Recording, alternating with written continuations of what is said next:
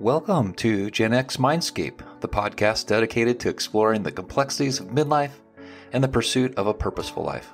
I'm your host and fellow Gen Xer Kyle, here to accompany you on this journey.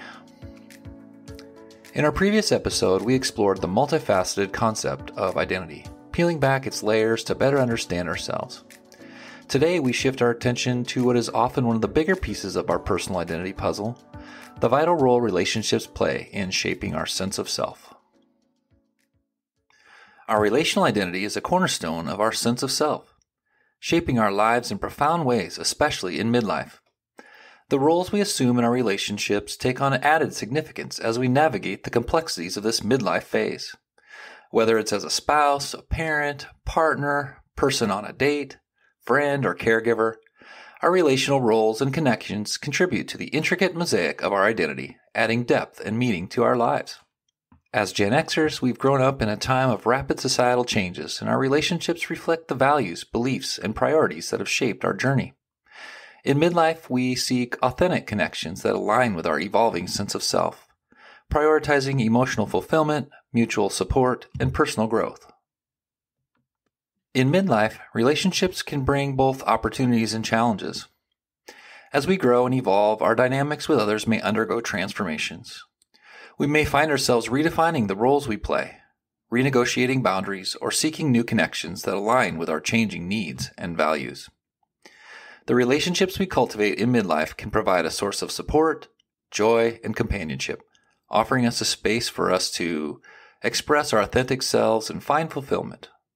We also understand that navigating relationships in midlife can be complex and challenging. And some of these relationships may bring difficulties that impact our sense of self. In midlife, it's not uncommon for Gen X individuals to find themselves grappling with societal expectations and the self imposed shoulds of maintaining certain relationships. However, it's essential to remember that as we navigate our midlife relationships, it's okay to reassess and realign our priorities based on what truly nourishes and uplifts us.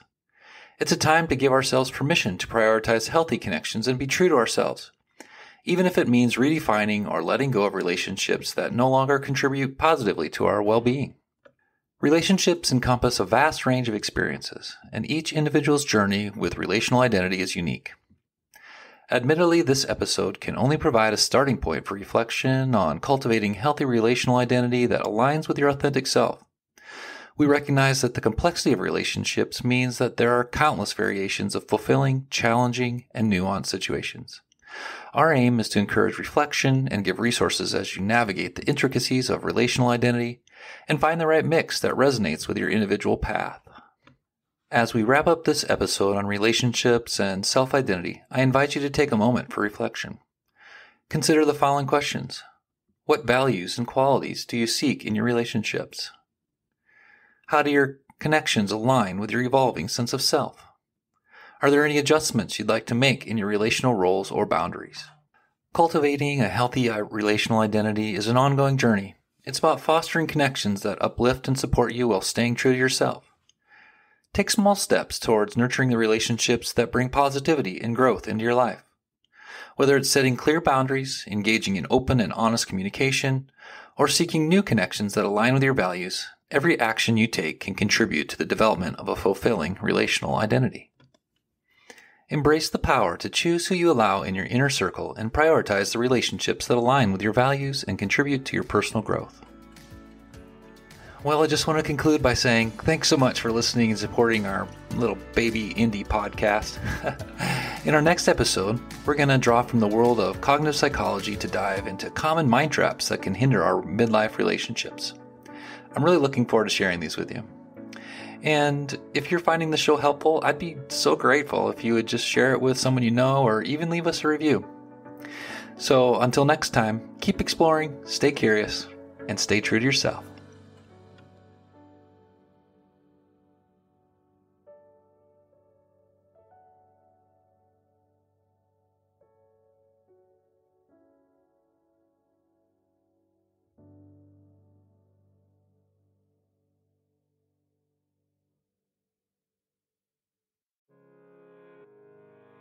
Hey there, listeners. I just wanted to take a moment to express my heartfelt gratitude for listening to this podcast. Your support and feedback keep me motivated to continue growing and crafting episodes that are meaningful and helpful for you on your journey. That's why I'm inviting you to join our Gen X Mindscape community page on Facebook. It's a great space to share your feedback on the show, suggest future episode topics, or simply connect with fellow listeners. Also, don't hesitate to leave me a voice message over at genxmindscape.com by clicking on Leave a Voice Message at the top of the page. Whether you choose to remain anonymous or provide your name and email, it's entirely up to you. Once again, thanks so much for listening. I'm definitely looking forward to hearing from you.